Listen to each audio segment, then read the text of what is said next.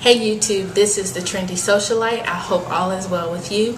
If you look at the bottom of your screen, you will see a definition for the word chaos. And this is what my life was like at one point in my in my time.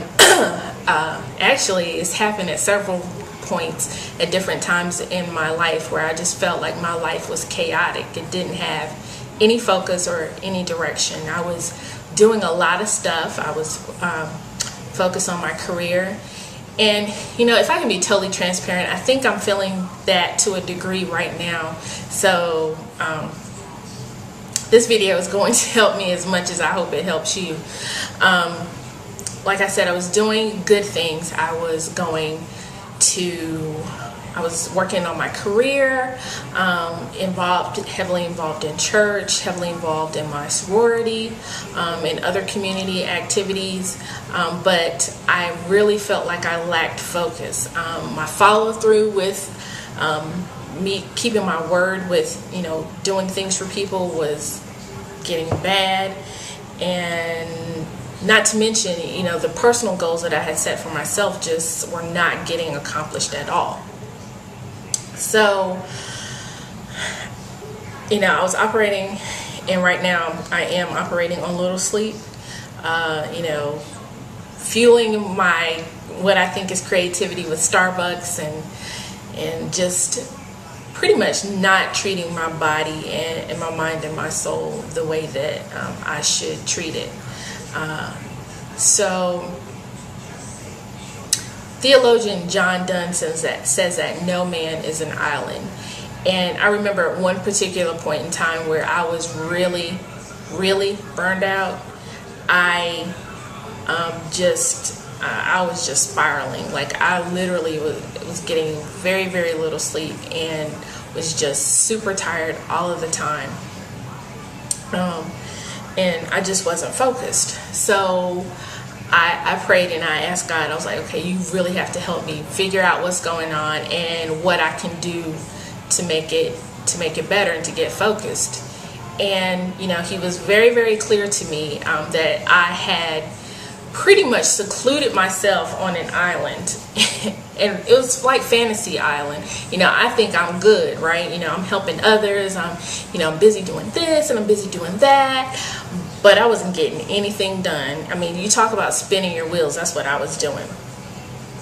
Um, and so part of God's solution for me was that I needed to create a godly support system. I was being the support system for many others, but I hadn't created that support system for myself. And thus I was drowning, I was overwhelmed.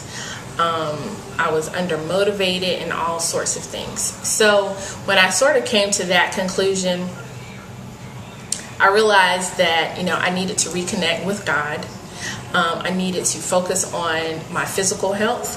I needed to focus on my emotional health, and I needed to um, find someone to help me motivate, help motivate myself to to um, go after some of the personal goals that I had and I needed to reconnect with my friends and my family. So, um, you know, several different types of people came to mind when I decided I needed to create this godly support system. One was an accountability partner, spiritual accountability partner. Two was a counselor. Three was a um, personal trainer. Four was a life coach or motivational coach, and five was my friends and family. So luckily, I, with the exception of maybe one or one of those things, I actually have all of those in my immediate sphere of influence. Um, with the personal trainer, my cousin is a personal trainer, so you know I'm constantly picking his brain. You know what's the latest, what's you know what's good, what should I do, how can I um, jazz up my workout. And I also have a really good friend that was a personal trainer as well. Um, so, you know, I was constantly asking them for that. I don't, you can't tell, but uh, I haven't been to the gym in, a while. But I know what to do when I go back. anyway, um, so maybe you have, even if they're not a certified personal trainer, chances are you know somebody that's just a fitness nut, fitness buff, whatever you want to call them, and you can get them to give you some tips and pointers on that. Um, I also let's see, with my friends and my family, that was more a matter of choice, just in terms of me committing to spending more time with my family, spending more time with my friends, reaching out to them, and you know, sending them, you know, at least a weekly, hey, how you doing, email or text. Um, you know, as I'm traveling from different places, if I'm in the car alone, especially giving my friends a call and saying, hey, what's going on? Just call and check on you to see how you are doing um, and that sort of thing. And that lets them know that I'm not just there when, you know, I want to want something from them or something to that effect. That I'm there for them. Um, and so that was um, that was really really a matter of choice. We can get so bogged down in day to day stuff that we just don't connect with the people that are closest to us because we sort of think that they're always going to be there. And the one lesson that I've learned this year, especially that I've really been convicted about about, is that they may not always be there, and to appreciate them while they are here. You know, the old folks used to say, "Give me my flowers while I yet live," and that was a song back in the day. So I I'm trying to, and I don't succeed all the time, but I'm trying to do that on a consistent basis. Um, the other thing that I highly recommend is counseling. Uh, a lot of times, especially we as black women, we have been through some stuff. Some stuff that we have healed from, some stuff that we haven't healed from.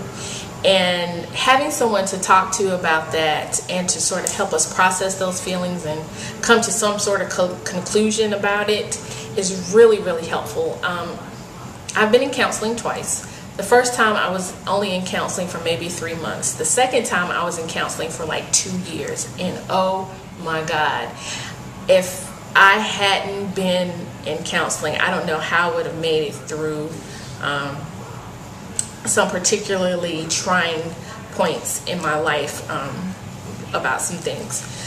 So, uh, you know, now for those two years, was I always going through and involved in some drama? No but it was helpful you know there were weeks that i would go in and something would have just happened at work. And you know i'm spazzing out freaking out and so i talk about it. And you know my counselor was just so great about just putting it all in perspective and just kind of saying like in the grand scheme of things like really how important is this? And so i always had those i was able to vent and at the same time I was able to to come to some sort of conclusion about the matter. Even if it wasn't a solution, I was able to come to a conclusion about it, even if it was that I can't do anything about it.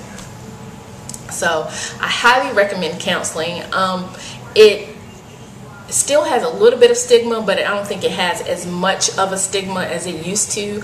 Um, and also, if you are employed and you do have health insurance, look into that because um, my counseling was covered under my health insurance, so all I had to pay was my copay. You just want to be careful that it's usually a certain number of sessions, and if you go every week, you may run out before the end of your health coverage for that year. So just you know, be careful, mindful of that.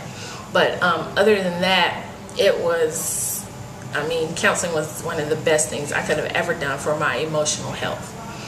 Um, in terms of life coaches, I've had two awesome life coaches that I still hear from today. You know, every once in a while, they'll like one calls me pretty much quarterly just to see where I am, what I'm doing. And I just, I mean, I couldn't have asked for two better counselors. I've been blessed. The second one was a Christian, and he was just awesome. Um, I will put his information below. His name is Simon Bailey. If you ever have a chance to hear him speak or read his books or you know follow him on Twitter or whatever. He is just a phenomenal person. So uh, he a lot of who I am and the way I think and the way I operate is due to him because he was my life coach for maybe about a year. Um, I didn't do everything that I was supposed to do that he directed me to do um, and I could kick myself because I could be so much further along in my journey. But it's never too late, and that's one important thing about this support system um, is that if you surround yourself, I'm getting ready to sneeze, with the right people, they will be with you for the long haul and they won't walk away with you when you trip and fall or when you forget or you become unmotivated. So, like I said, once I got these people sort of into place, did I forget anybody? Oh, my accountability partner is like my best friend. And that's the person that I, I talk to about, you know, where I am spiritually, what I'm struggling with. Um, and you know the blessed thing about that is she doesn't judge me she gives me the word of god but she doesn't judge me she she loves me she tells me um, not necessarily what i want to hear but what i need to hear in order for me to have the um, God kind of life that I know that He wants me to have. And I couldn't ask for better, you know, better friends in that regard. Speaking of friends, I don't know that I've ever talked about really uh, my group of friends that I call the Council of Godly Women. Short, the Council. Um, it's it's mostly my family, but it's also part girlfriends. And um,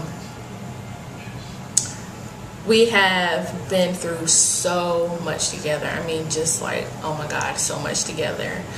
Um, weddings, literally, weddings and funerals. We're about to go through the birth of a baby, relationships, breakups, um, job changes, layoff. I mean, we've just been through so much together.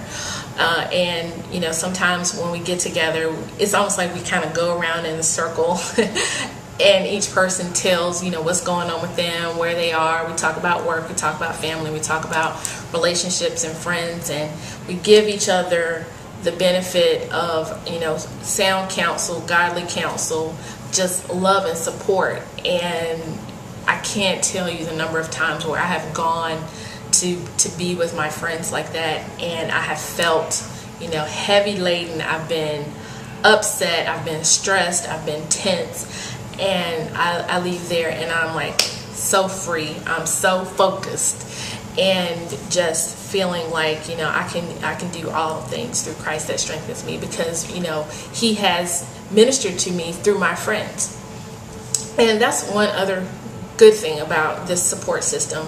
Um, I totally understand that you know God is a healer, God is our source. He's the one that we should look to for a lot of these things.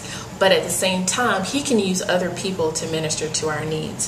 So I really want to encourage you to uh, consider creating your own godly support system. This, these may not be the type of people that you need. You may want a financial counselor, or you may want um, you know, a, another type of mentor.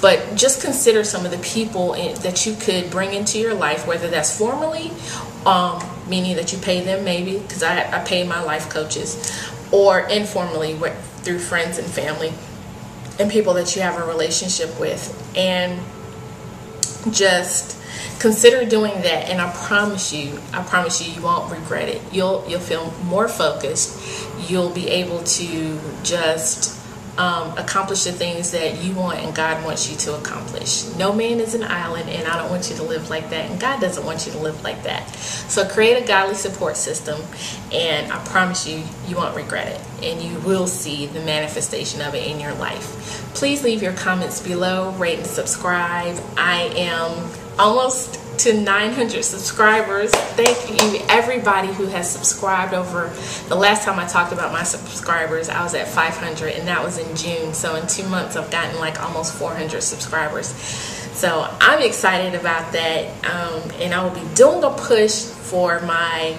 next 100 subscribers so I can get to 1,000 and that'll be full of contests and prizes and all kinds of good yummy stuff. Uh, so Please rate and subscribe and take care and have a great day. Bye.